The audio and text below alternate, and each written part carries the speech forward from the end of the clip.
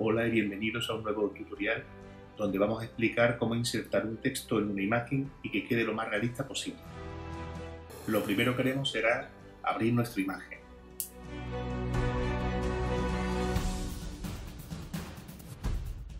Si al abrir nuestra imagen nos aparece esta ventana de falta del perfil, podemos dejarla tal como está o asignarles nuestro perfil, que es el que utilizamos normalmente para editar nuestras fotos. Una vez abierta nuestra imagen, nos iremos a la herramienta rectángulo. Aquí hay que tener en cuenta un detalle importante, que es a la hora de configurar nuestra herramienta, porque si nosotros la, ejecutamos, o sea, hacemos un rectángulo como tal, en la parte superior nos va a aparecer eh, una serie de, de configuraciones. Dependiendo como lo tengamos seleccionado, nos hará una cosa u otra. Para nuestro ejemplo, lo que debemos hacer es utilizar el comando forma o la opción forma, porque de esta forma, valga la redundancia, eh, vamos a poder crear una nueva capa. En los ajustes que aparecen en la parte superior eh, podemos decirle cómo queremos el relleno, el trazo, etcétera, etcétera. Y de esta forma podemos crear eh, nuestro ejemplo. Lo que haremos a continuación será picar con el botón derecho sobre la nueva capa que se ha creado y convertiremos esta capa en un objeto inteligente. Lo que haremos a continuación será dar forma a esta capa en función de donde la queramos ubicar en relación a la imagen. En mi caso yo lo que haré es pegarlo en el, lado derecho de la imagen, donde está la montaña derecha, y ahí ajustaré la capa lo mejor posible según la idea que yo tenga para luego al insertar el texto aparezca lo mejor y lo, mejor y más alineado posible eh, en la imagen. Los ajustes que podemos realizar pueden ser en las cuatro esquinas como tal o bien utilizando la, herramienta que tenemos justamente eh, donde aparece validar o cancelar la que aparece para insertar varios puntos más en ese cuadro para modificarlo esos puntos a nuestro antojo y también en relación a la imagen, si hubiera a lo mejor algún perfil eh, que viniera, eh, digamos, eh, sobresaliente o, o, entrante a la roca y conseguiremos un efecto más realista a la hora de realizar este tipo de ajustes. Ya eso va a depender un poco del tiempo que le echemos y sobre todo de, la, cantidad de realismo que queremos dar a la imagen. Una vez posicionado este cuadro en la ubicación que nosotros queremos para el efecto, en este caso para el ejemplo que, estamos mostrando, eh, lo que haremos es hacer clic dos veces sobre el cuadro donde nos aparece el iconito de la imagen. Al hacer doble clic sobre, sobre ese icono eh, de la imagen, lo que le estamos diciendo a la capa es que se nos abra en una nueva pestaña. Y en esta pestaña lo que podemos hacer es eh, hacer modificaciones que luego va a repercutir sobre la, capa en cuestión, pero que digamos no va a afectar eh, directamente a la hora de realizar las modificaciones, sino que cada vez que queramos hacer una modificación lo tendremos que hacer de esta misma forma sobre este objeto inteligente para, eh, digamos, que se vea luego en, la imagen final, o en este caso, en la capa de, la imagen. Deshabilitamos la visibilidad de la capa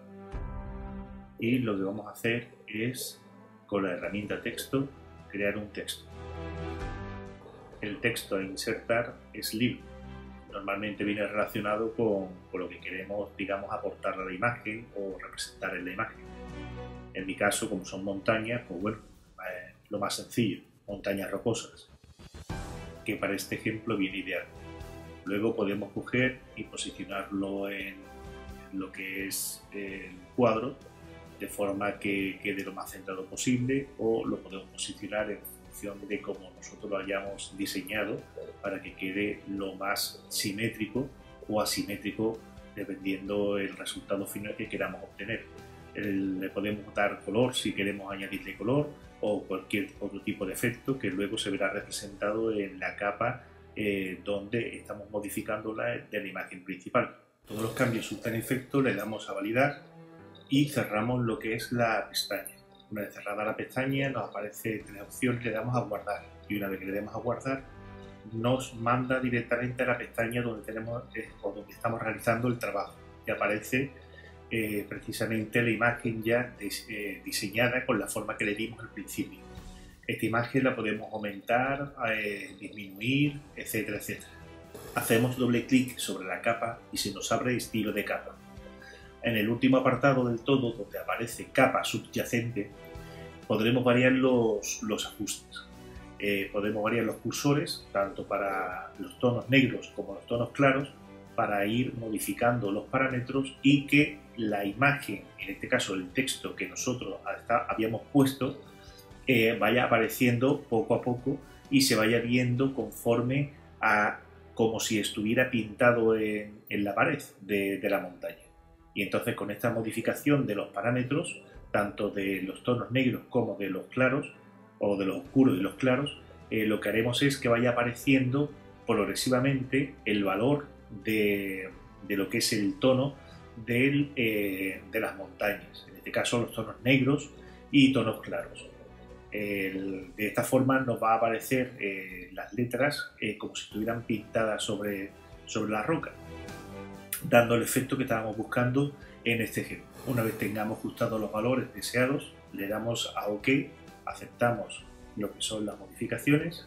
los ajustes que hemos realizado y tendremos ya lo que es la imagen eh, con el resultado final de este ejemplo que es unas letras pintadas eh, digamos añadidas a lo que es eh, la ladera de, la montaña, de la roca con el efecto como si estuvieran pintadas sobre ellas. También podemos hacer o podemos coger cada una de las puntas de, lo que es la imagen, de lo que es esa capa, y podemos modificar el tamaño. Y podemos modificar tanto el tamaño como los valores y ajustarlo a nuestro gusto, de forma que quede lo más realista posible si queremos llegar hasta ese punto y si solamente lo que queremos es añadir un texto tal cual con este efecto, pues lo tenemos aquí sin problemas. si ejecutamos de nuevo lo que es la capa, la capa eh, en este caso la podemos abrir, se nos abre una nueva pestaña y podemos modificar el texto que en este caso inicialmente habíamos eh, puesto, que en este caso eran montañas rocosas. Bueno, pues si modificamos este texto y, por ejemplo, ponemos cañón del, Colorado,